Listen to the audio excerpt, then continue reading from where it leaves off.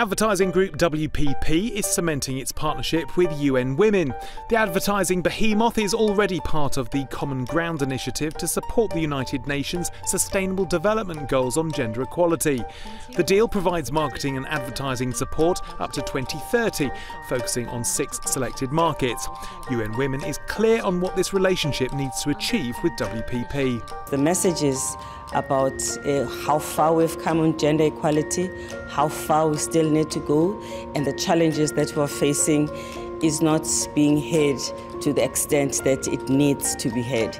So with partnership with them, we're hoping that uh, we'll find a way of communicating with many more people about what's happening to women, but even more important, what can everybody do to help?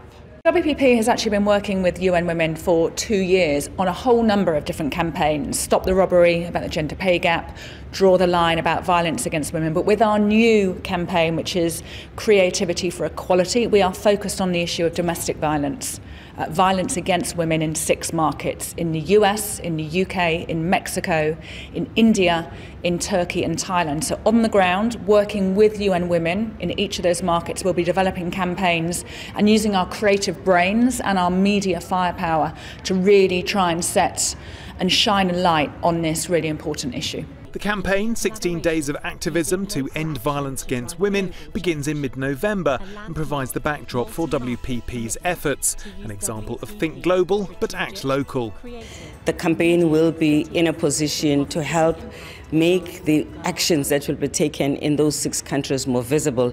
Each of the campaigns are specific to those countries, so it would also be united in that it's the one campaign for everyone in the world, but very specific in that they will help us to make the campaign speak to the people of that particular country. Turkey is one of the countries, for instance, that we're dealing with. Turkey has lots of migrants, lots of refugees. If you're addressing issue of ending violence against women there, you need to make sure that you nuance it so that it speaks to the Turkish women as well as uh, maybe Syrian women who may live there, uh, so that uh, you are touching uh, many women.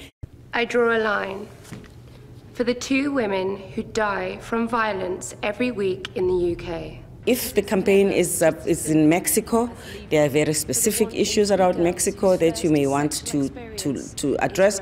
If you're talking to a woman in the US, you have US issues. You want to make sure that uh, the benefits of Me Too, which are so visible in the US, are actually accentuated, that we understand the importance of women speaking out, being believed and the importance of the law taking its course. So we will be able to find a way of speaking to every woman everywhere in these six markets so that the message works, and men as well, because it's important that the men get the message. The latest announcement builds on the Common Ground Initiative and Unstereotype Alliance that the broader advertising industry has signed up to. So, what does this next step hope to achieve? Common ground is about all of those agencies coming together and working where there is common ground, where we all agree. Gender equality should not be a something that only women aspire to. Gender equality is a business issue, it's a societal issue, it's a cultural issue, and you know, we believe that, that this will be a force for good. Common ground is about finding the things that, if you like, bind us together things that whether you're in the private sector or in the public sector or you're working for civil society, there's a nexus of issues that we could pull together. No one likes violence against women. I think a, uh, a lot of people, including men, don't like the fact that women are underpaid. I don't think you do. So there are certain issues that we could actually bring together in order to make sure that the message that Common Ground brings is actually enhanced by uh, leading to specific uh, concerns that society has got. Uh, that we have some possibility actually to change, uh, but we can only change if we have a critical mass of people who are saying the same things. There are many social campaigns promoting gender equality, Me Too perhaps being the most prominent. So why does UN Women think more needs to be done? Well, because the message has not resonated to the extent that it can. The fact that we still have around 6% of women in the leadership of Fortune uh, 500 companies is a problem. One in three women live with violence is a problem. It means that uh, we have a long way to go and we just have to invest in the message and repeat it and repeat it so that we get more people to believe to believe in the message. We want to also make sure that uh, we create opportunities for women to speak for themselves uh, because uh, this is a struggle that has meant that uh, the voices of women in many parts of the world are muzzled. So this also creates an opportunity for people to hear from women talking about themselves. But also a lot of time women will also talk about society because they're not just concerned about themselves, they're concerned about the greater good of com the common good. The upcoming campaign may be highlighting violence against women, but WPP and UN Women want to ensure gender equality sits at the foundation of society and the world of business. Women are always working for gender equality. We are always working for gender equality. Women are running for elections, for instance, in different countries.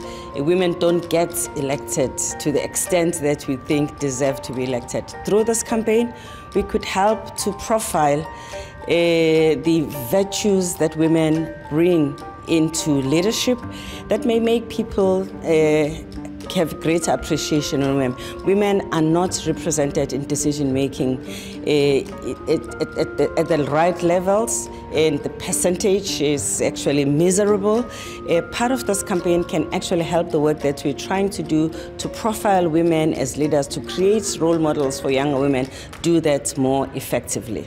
Gender equality isn't a choice it's a business issue, it's a cultural issue, it's a societal issue, and we have a responsibility to over half of our workforce who are female, so 130,000 people all over the world. And for both our men and our women, we want to show that WPP is committed to something that is just just.